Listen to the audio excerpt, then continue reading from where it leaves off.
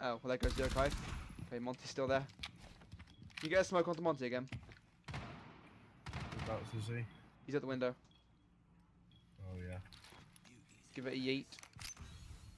I, I think it bounced off his shield. I saw. I don't know where it went. I yote at him, and then it just bounced off his shield into the distance. Did You just use the fucking past tense of yeet. Yes.